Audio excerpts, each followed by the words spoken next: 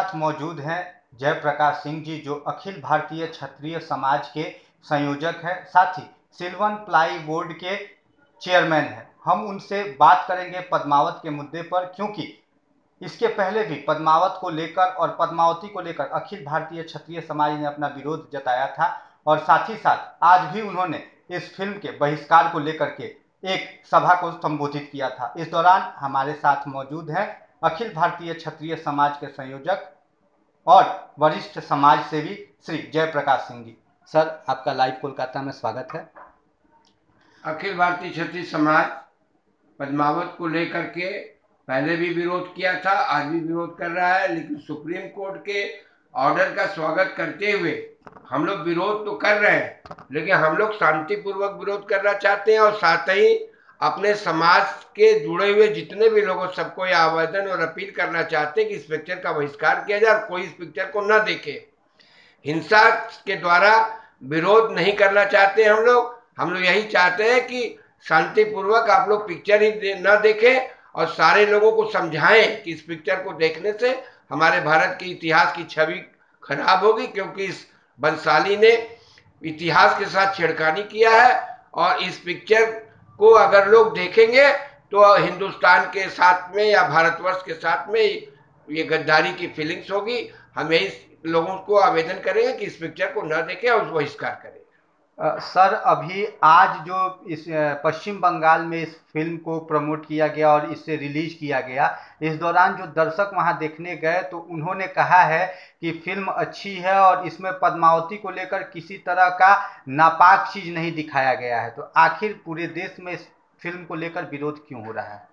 नहीं, अगर इस तरह की बात है और नापाक चीज़ नहीं दिखाई जा रही है तो मैं भी उन जनता के साथ हूँ और मैं चाहूँगा कि नहीं इस पिक्चर को लोग देखें, लेकिन इतिहास के साथ अगर उसमें छेड़खानी की गई है, ऐसी हम लोगों ने तो पिक्चर देखी नहीं है, लेकिन अगर ऐसा कुछ है तो जो भी विरोध हो रहा है, वो होता रहेगा, और नहीं है तो शांतिपूर्वक लोग पिक्चर को देखें। इसमें हम यही कहेंगे लोगों से कि इस पिक्चर को देखना चाहिए, और इसका विरोध नहीं करना चाहिए। सर, दूसरी चीज़ ये है कि करनी सेना वालों ने बुधवार को गुरुग्राम में एक स्कूली बस को जला दिया था। इस हिंसा, इस हिंसक घटना को आप किस नज़रिए से देखते हैं कि एक फ़िल्म का विरोध करने को लेकर एक स्कूल में जो मासूम बच्चों को लेके जा रही है, उसे आग के हवाले करना कितना जायज़ है? ये बहुत ही शर्मनाक घटना है और हमारे विचार से ये सब नहीं करनी चाहिए। अगर भाई हम राजपूत हैं तो राजपूत इस पिक्चर का बहिष्कार करें ना देखें लोगों से अपील करें कि वो पिक्चर ना देखें लेकिन हिंसात्मक ढंग से और ऐसा कोई कार्रवाई न करें कि अब राजपूत की छवि खराब हो और राजपूतों का नाम बदनाम हो। बहुत बहुत धन्यवाद सर। सर शुक्रवार को 26 जनवरी यानी कि गणतंत्र दिवस मनाया जाएगा। इस अवसर पर आप लाइव कोलकाता के दर्शकों को शुभकामनाएँ दे दें।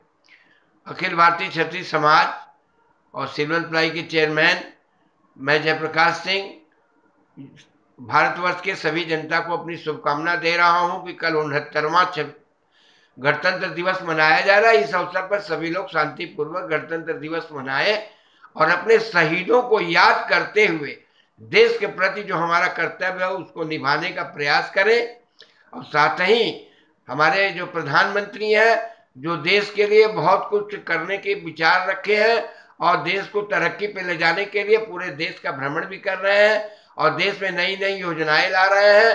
उनका साथ दें कि जिससे कि ये देश की तरक्की करे और आगे बढ़े।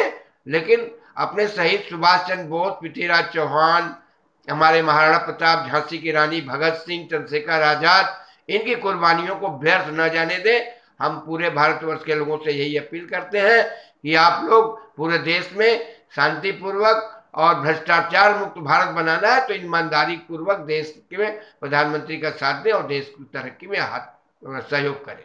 बहुत बहुत धन्यवाद, सर।